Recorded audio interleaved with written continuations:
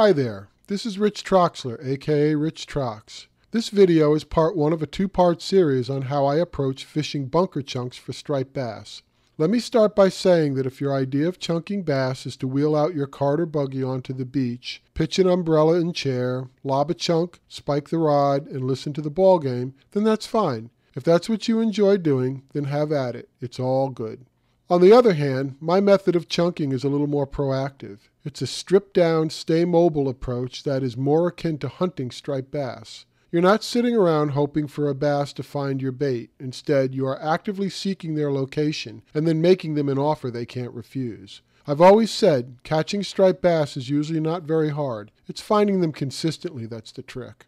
For more detailed information on where to find bass in the surf, check out my other videos on reading the beaches.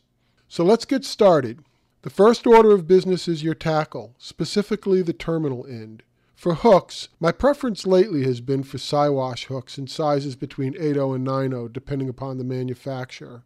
I like the Siwash hook because they have a wide gap and the tip of the hook extends up about half the distance of the hook shank. This means you can sink the hook a little deeper into the chunk and still have a good amount of hook point protruding from the chunk. A couple other good hooks for chunking are the 9.0 Mustad live bait hook and the 10.0 Gamakatsu octopus hook. You'll need to know how to snell hooks if you choose to go with the Gamakatsus. For leader material, I use either 80 pound Ande mono line or 80 pound Ande leader material. The Ande leader material is a little stiffer and resists the toothy critters a little better, but both work fine for bass. For the swivel, I use an SPRO 230 pound swivel. A 230 pound swivel may sound like overkill, but they are much easier to handle and tie in the dark with the heavy line I use. Lastly, you'll need a fish finder rig and some Hatteras style sinkers in weights from 5 to 8 ounces. If you can't hold bottom with an 8 ounce Hatteras sinker, then it is probably best to go find another spot, or go home. Here's how I tie up my rigs. First I nail a small finish nail into the surface of my bench and then clip the nail head off. I use this to tighten and test the rigs I tie. Start by attaching the leader material to the eye of the Siwash hook using a Palomar knot. The Palomar knot has 100% breaking strength and is very easy to tie. If you don't know how to tie it, there are plenty of animations on the internet to tell you how to do so. Trim the tag end and then attach the other end to the swivel, again using a Palomar knot. Try to keep the leader length between 8 and 10 inches. The shorter leader length makes the whole rig much easier to cast, and the bass don't seem to notice. After tying both sides, slide the running line side swivel loop over the nail and pull to tighten everything up. After that, store in a Ziploc sandwich bag until needed. Next up, you'll need a way of carrying your bunker around with you. You can use a soft cooler bag or a small box type cooler, which is what I've been using lately. Regardless of which type you use, they should both have at least one zip type pocket for storage and a shoulder strap for easy transport. The cooler area should be large enough to carry 8 to 10 adult bunker and ice. In addition to your bunker, what you'll need to bring with you are a pair of pliers, a couple spare rigs, fish finders, and some sinkers. You'll also need a knife for cutting the bunker. A cutting board isn't necessary, just cut the bunker in the sand.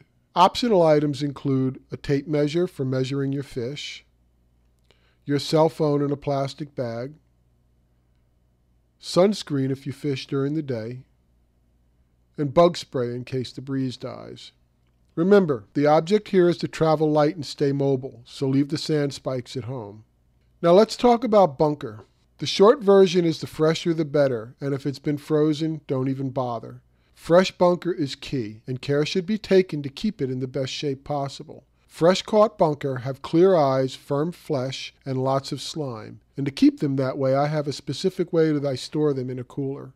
You'll need some gallon-sized Ziploc freezer bags, a bucket half filled with water, and lots of ice. I start by putting two or three adult bunker in a Ziploc bag and then closing the Ziploc on the bag to about three quarter closed. Then I submerge the bag, bottom first, into the bucket of water until just below the remaining open area. This is the poor man's version of a vacuum packer, as all of the air in the bag is forced out by the pressure of the water. I then finish sealing the top of the bag, and presto, vacuum packed bunker. In the cooler, you place some ice on the bottom, then a layer of vacuum packed bunker, then ice on top of that, then another layer of bunker, and so on. This will keep the bunker much fresher and in much better shape for far longer than just throwing them in ice. Sounds like a lot of effort, but as I mentioned before, fresh bunker is key, and I've had this demonstrated to me many times throughout the years, so trust me on this one. As far as rods and reels go, I'm old school, so it's conventional only for me when I'm chunking. But you should fish with whatever you have or whatever you're comfortable with. My main outfit for the beach is an older 11 and a half foot Lamiglas honey rod with a Newell P335 reel spooled with 50 pound Ande mono. I like chunking with mono because it is more forgiving of mistakes when beaching a big fish. If spinning gear is your thing, then a hefty Van Staal reel on a stout Lamiglas rod and 50 pound braid will get it done also. Just watch your fingers when landing a big fish in the wash as braided line can cut you deep. Whatever your gear, thread on a fish finder and tie on a rig using a Palomar knot. Throw your pack cooler over your shoulder and you're ready to hit the beach. Part 2 discusses what to do when you That's my view from the beach. So until next time, be well and catch 'em up.